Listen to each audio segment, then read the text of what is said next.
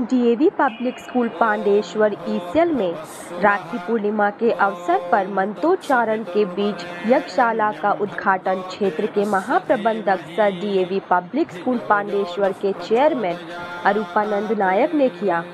इस अवसर पर उनकी पत्नी संयुक्ता नायक एजीएम एसीसी मित्रा समेत स्कूल के टीचर प्रभारी शांतनु चटर्जी, स्कूल के शिक्षक समेत चिरंजीवी देवनाथ, डॉक्टर एस के गौरव समेत अन्य उपस्थित थे।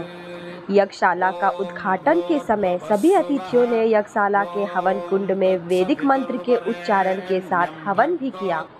अपने संबोधन में महाप्रबंधक ने कहा कि धार्मिक भावना और वैदिक धर्म के साथ विश्व में अपनी एक अलग पहचान डीएवी पब्लिक स्कूल की है, जो सनातन धर्म और संस्कृति को अपनाते हुए अपनी भारतीय संस्कृति को जागृत करती है।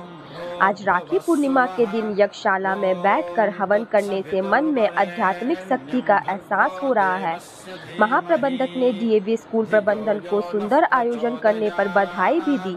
इससे पहले महाप्रबंधक समेत अतिथियों को डीएवी स्कूल पहुँचने पर मंत्रोच्चारण और संघ ध्वनि से स्वागत भी किया गया। खबर पांडेश्वर की रिपोर्ट।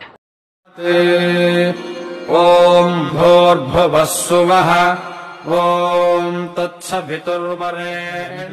से उन्हीं का आशीर्वाद से दुनिया चलती है हम लोग निमित्त मात्र है।